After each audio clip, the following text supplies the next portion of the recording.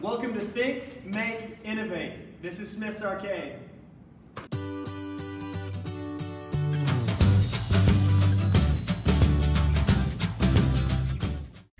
Pong is the classic original video game. Do you think it's the first video game ever? Maybe we don't have a fact check on this, so I think you're probably right. Do you know what I think is the original makerspace moment? What? Caine's Arcade. Did you know it's been seven years since the original Caine's Arcade was released on YouTube? No way! It sparked a whole movement of creativity through cardboard creations and has even inspired its own global day of play. I feel like so many of our schools have participated in their own versions of Caine's Arcade. And Anamosa High School is no exception. They took a twist on their Caine's Arcade by adding in Makey Makeys.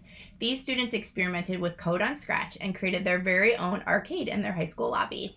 With just cardboard, glue, tape, paint, and of course the addition of the Makey Makey, they created some really radical projects that they were very proud of and were super fun to play. So we hope you take up this month's challenge by creating your own arcade game. Whether it's high tech or low tech, we'd love to see what you make. Send in photos or videos of your arcade games in action and we will add them to our maker community.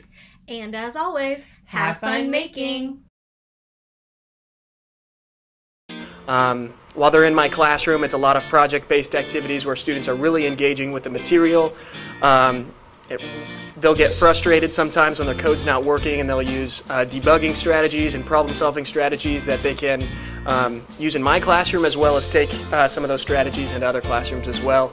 Um, and honestly, by the end of the semester, I'm expecting students to, you know, know as much as I do or even, even more than I, more than I do in computer programming, and that's not scary to me to, uh, as a teacher. I think that um, if I can push students to their potential and uh, a level of engagement that uh, even goes beyond the amount of knowledge that I know, uh, I think that I've done a pretty good job.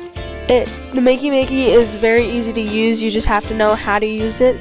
Um, we took tinfoil and cardboard and styrofoam to make the game pads that way you could step on them and that way they would bounce back.